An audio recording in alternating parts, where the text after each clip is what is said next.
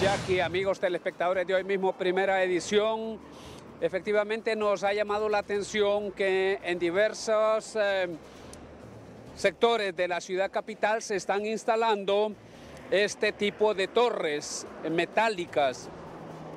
No sabemos si son de, para el tendido eléctrico, para eh, cableado telefónico, no sabemos si son de empresas privadas que prestan servicios eh, de telefonía por cable, por ejemplo.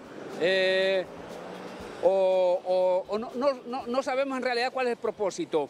Eh, lo, que sí nos llama la atención es que se están instalando en las aceras a orillas de bulevares, tanto aquí en el bulevar Kuwait como en el bulevar Suyapa hemos visto.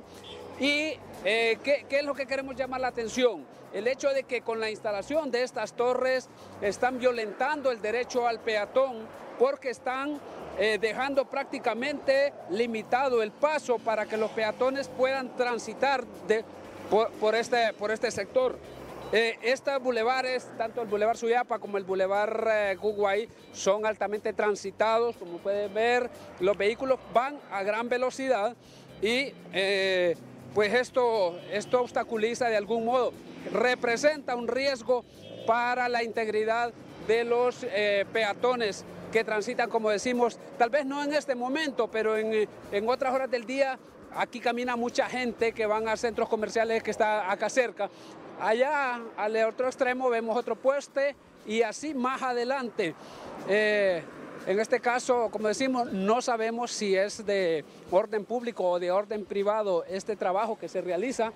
Eh, a ver, mi querido Archie, mostremos, por ejemplo, en, la punta eh, superior, en el extremo allá, a la distancia, al interior de la colonia, creo que es eh, la colonia Miramontes todavía, o la, o Umuya, no sé. Pero bueno, el punto es que están, están trabajando e instalando estas torres y bueno, no sabemos quién es más irresponsable, la empresa o la privada o pública que está instalando estas torres o la autoridad que otorgó el permiso para que se construyan así en la orilla de las calles, en las aceras, repito, violentando el derecho del peatón que ya de por sí en este país no es respetado.